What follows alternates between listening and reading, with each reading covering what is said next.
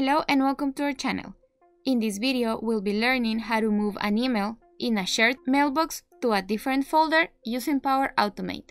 Before getting started, we need to clarify that there is not an out-of-the-box action to achieve this. However, this can be done using Microsoft Graph API. To be able to use this API, we need to go to the Azure portal. Then search for Azure Active Directory and once there, click on App Registrations. Let's click on New Registration and let's assign a name. For the supported account types, I'm going to select the first option. And then in the redirect URL, I'm not going to put anything and just click on register. Once this is ready, we need to go to the certificates and secrets blade and then click on new client secret. I'm going to assign a name and then I'm going to set it to never expire. However, you can change that depending on your setup. I'm just gonna click add and this is going to make a new record to show up in this area of the screen. Here we will see a client secret value and a client secret ID. You need to make sure that you copy the client secret value in this step of the process. Otherwise, you may not be able to access it anymore. Now that we have the client secret, let's go to API permissions. Here is where we are going to allow the Microsoft Graph API to access to the shared folder and do actions on it. As you can see, there's only one permission, permission set up as default. Let's click on add permission and we have several options here and we need to select Microsoft Graph. On the next window, we have uh, two selections, delegated permission and application permissions. The difference between those two is that the delegated permission need a user to be signed in, meaning that you need a user and a password. However, if we use the application permissions, we don't need any user or any password.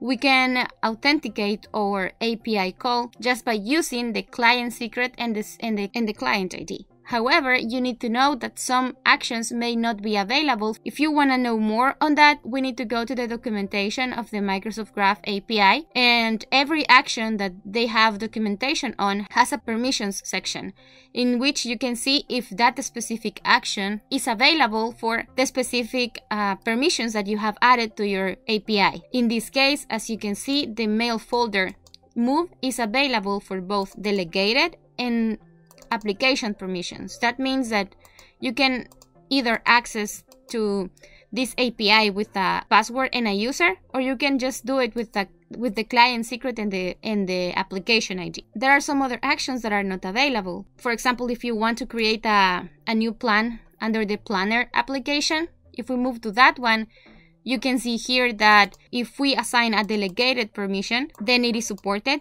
if we assign an application permission, then it is not supported. So, so far, if you don't have a password and a user for, for this specific action, then you cannot create a new plan under the Planner application through their API. Now, let's go back to the move action.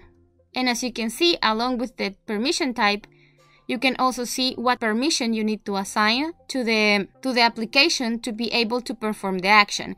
In this case, the only thing that we need is the mail.readwrite.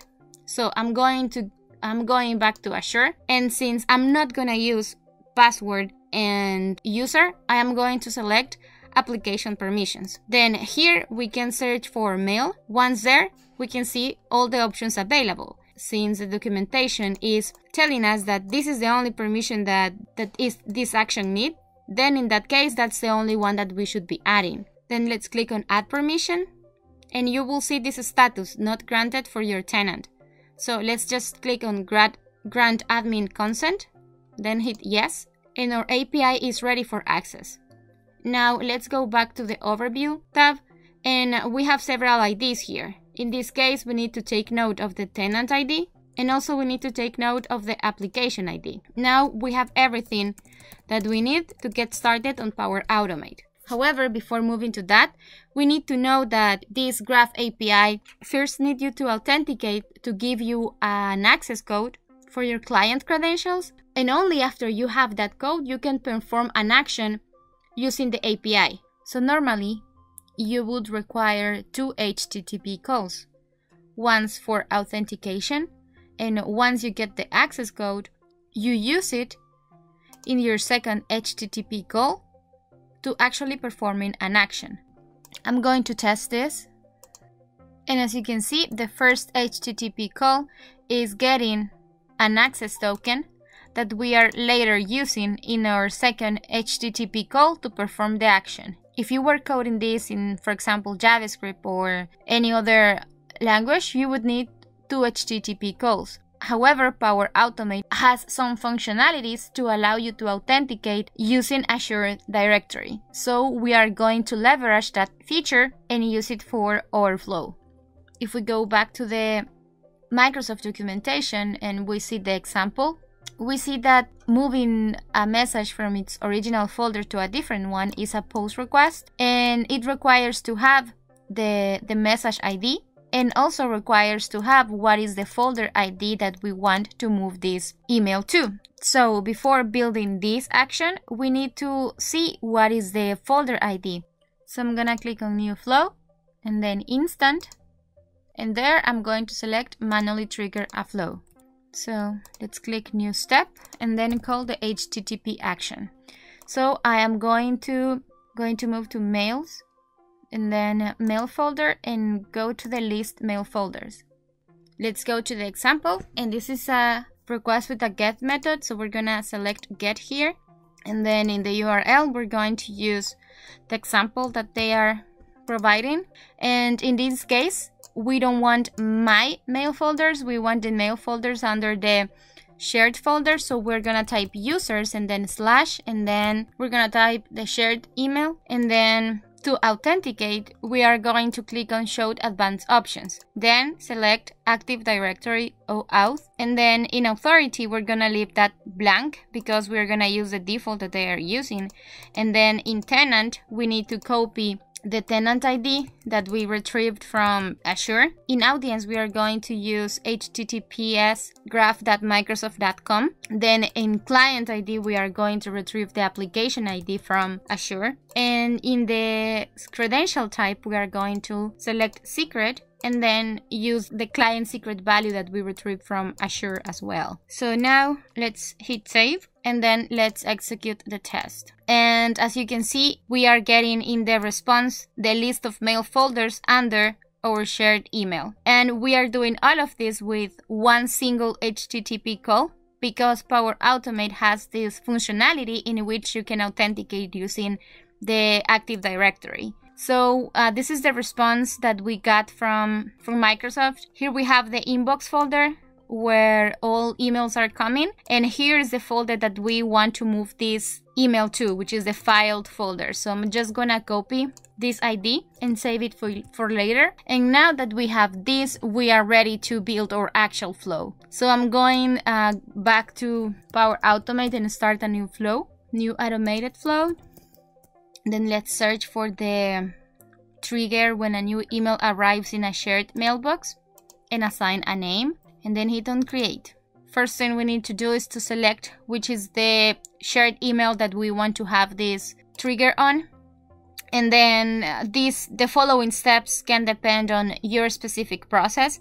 If you have any approval or any other or any steps in your process then this is the time to add it. In this case my only business condition is that i want everything that comes from this sender to be automatically moved to a different folder. So i'm going to click a new step and i am going to copy the action that we just built in the test flow because we are going to pretty much reuse all the authentication part. So I'm just gonna copy it from the to the clipboard and then paste it here. So let's go back to the message move action and as you can see this is a post request so I'm gonna change the method to post. I'm going to also take a look at the URL. The first part is the same. And then we have me, which we already replaced by user slash in the in the email. And then we have messages, message, message ID, and the word move. So this is what we need to replace and put it instead of mail folders. So now we have this and pretty much what we just need to do is to change this message ID that Microsoft provided in the sample and delete it and replace it by the message ID that is coming from the email trigger outputs. And now the, the next part is telling Power Automate to which folder we want to move this to. So we're gonna copy the, um, the body sample that they provide and paste it in the body.